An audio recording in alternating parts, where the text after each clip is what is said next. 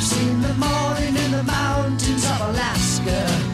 I've seen the sunset in the east and in the west.